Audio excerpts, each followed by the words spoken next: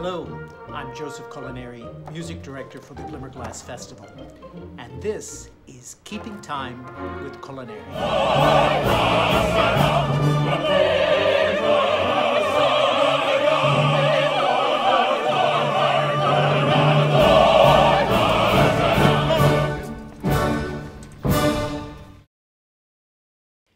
In this mini course, we will take an overview of the art of opera from its beginnings through the present day. We'll examine its forms and talk about the voices, orchestra, and most of all, the music. We'll also examine and demystify some of opera's terminology along the way. I hope this series might serve as an introduction for those new to the art form and as a review for experienced opera goers who might find themselves listening with a new set of ears. The series is presented as six short videos. Each video will include a playlist with links that will help illustrate some of the topics and ideas we examine. Please use these links as a guide and a portal for further listening. So, let's enter this fascinating world of storytelling and music. Last time, we explored the singing voice, its categories and classifications, and how it can be used to create a character. Today, let's look at the relationship of the voice and the orchestra as a means of amplifying the expressive and storytelling capabilities of opera. The singing voice, as we said in our last session, is central to opera because the voice carries the text. In opera jargon, we call this text the libretto, Italian for little book, because the libretto was published as a small booklet that could be purchased at an operatic performance for the use of the audience during the performance. Since in the early days of opera, house lights were not dimmed, the audience could read the libretto and follow the story. A rather early nod, I think, to the concept of modern day supertitles. Composers worked closely with librettists during the composition of an opera.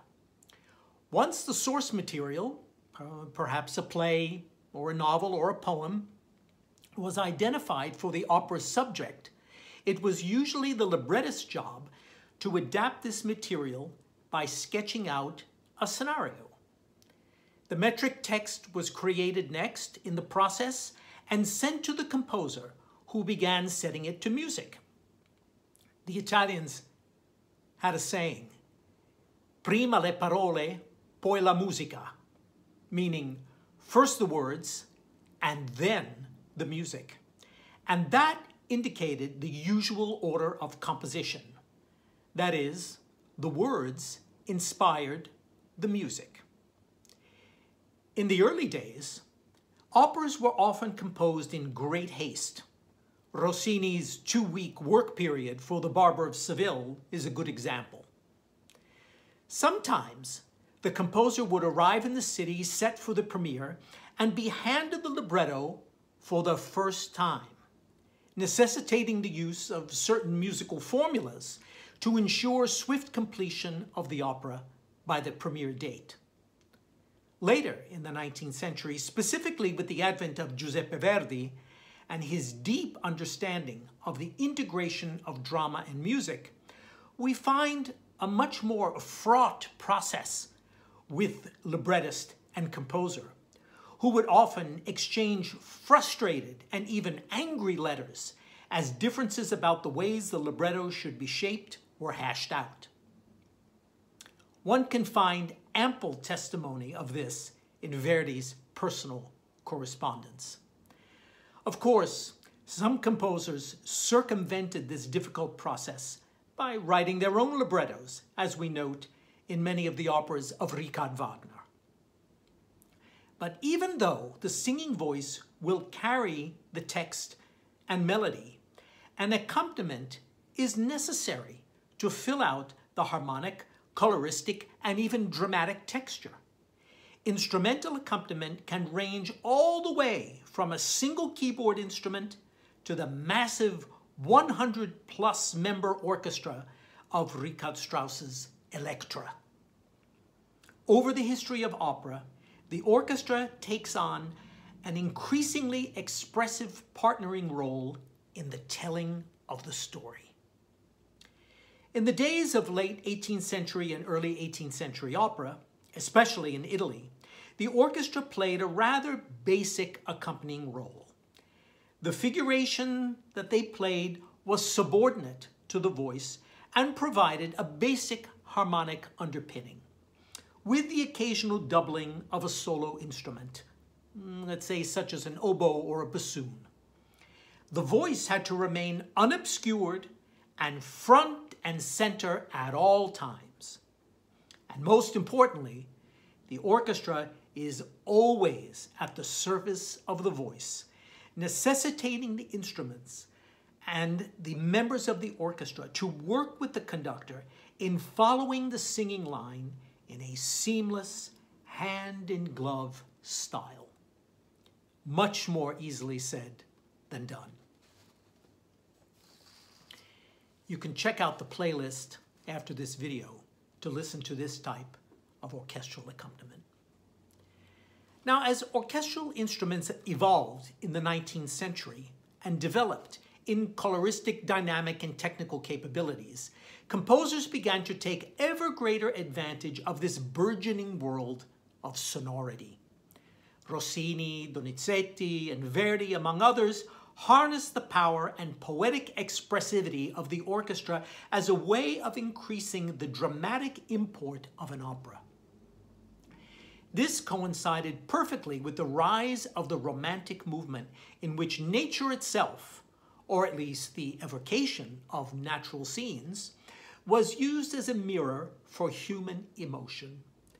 And the expression of human emotion through musical notes, perhaps Verdi's greatest genius, could be movingly conveyed through instrumental means. The playlist that follows contains a few examples of these wonderfully expressive techniques. Richard Wagner, in his pioneering compositional work, began experimenting with changing the balance of voice and orchestra from a sort of 80-20 bel canto balance to an equal footing of 50-50, and sometimes even more. It is no coincidence that such large stentorian voices are required for Wagner's operas, even if just to be able to compete with the massive and voluminous orchestras for which he composed. We must also credit Wagner with the revolutionary and sophisticated development of the leitmotif, or leading theme.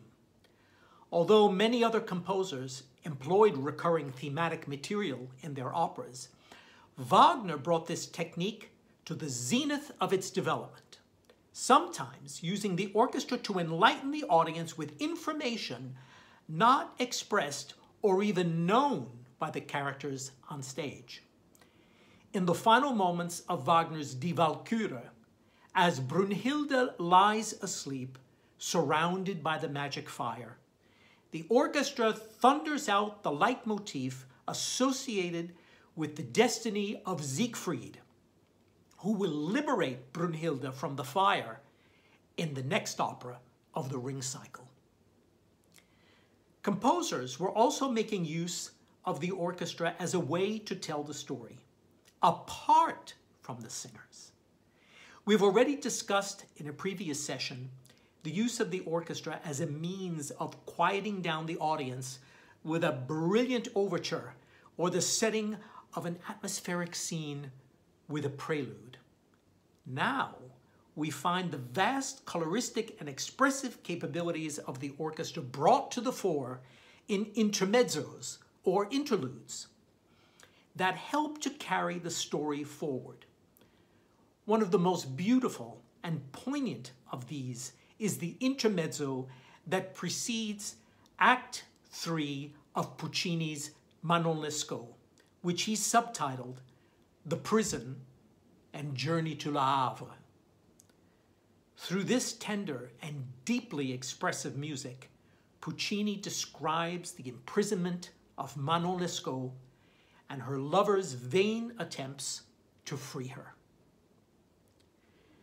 And so you can see that as opera evolved and moved through history, the singing voice, once a sole and primary expressive force, was joined in ever increasing expression by the orchestra to create a unique and symbiotic partnership that is unequaled in the world of the arts. Please join me next time for our final operatic exploration, putting it all together. Thanks for listening.